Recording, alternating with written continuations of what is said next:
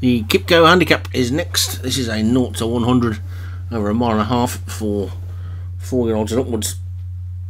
And the top one is Born in Fanta for James Shea. Fibre, Joshua Sutherland, Osdemona, Candlelight, James Shea.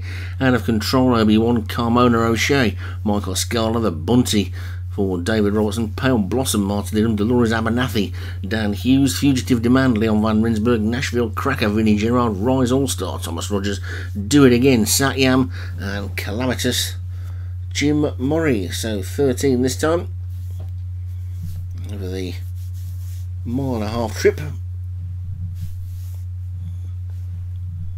Waiting for the starter to press the button, away they go. Mm, down here closest to us, out of control, was out nicely, little bit slow. Carmona O'Shea towards the back, but Fugitive Demand looks like it's going to go on. Out of control's pulling for its head, the grey.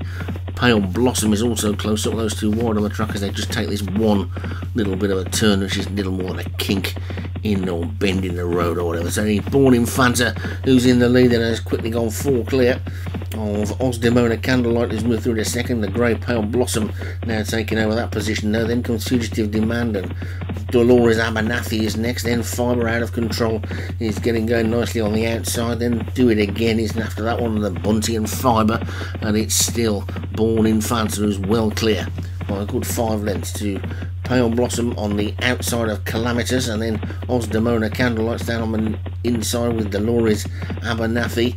Another grey close up. The other grey there is the Bunty. That one going well as well. So two's out of control. The Yellow Jacket closest to us.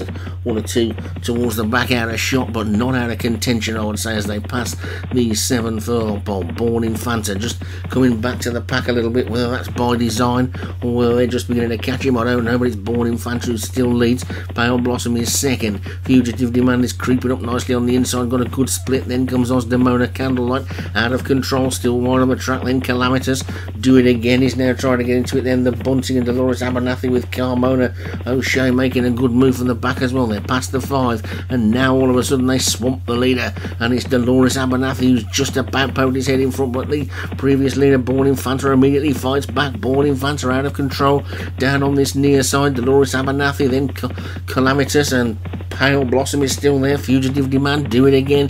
He's trying to run on. They're coming down towards the final three furlongs now. And it's Born in Fanta over on the far rail in the lead from Dolores Abernathy. Out of control, closest to us. Calamitous going well. Pale Blossom loses his place. Do it again. He's starting to run on. Another one who's got work to do is Fugitive Demand, but it's still Born in Fanta and out of control. Do it again in third. Dolores Abernathy running on again in fourth. Switching to the outside. Rise All Star is now coming through with the runners. They race down towards the final furlong, then it's still Stillborn Infanta from out of control. Do it again. Dolores Abernathy, the bunt is trying to run on. Rise All Star looks a big danger on the outside, and suddenly they're out of control. And Rise All Star do it again between them. These three have gone clear as they race up towards line. It's a head bump, the three of them past the both together. And I'm not going to try and call that. That is close. I would say if you forced me the one furthest away from the camera's one, but I wouldn't be too sure because of the angle. Looks like out of control. He definitely came out of the stalls like he wanted to win and it has done as well. So it's another one for Obi-Wan. So well done for Obi-Wan. Out of control. The winner do it again. For Satyam was second. Rise All-Star Thomas Rogers was third. Dolores Abernathy down he was fourth. And the Bunty for David Robertson was fifth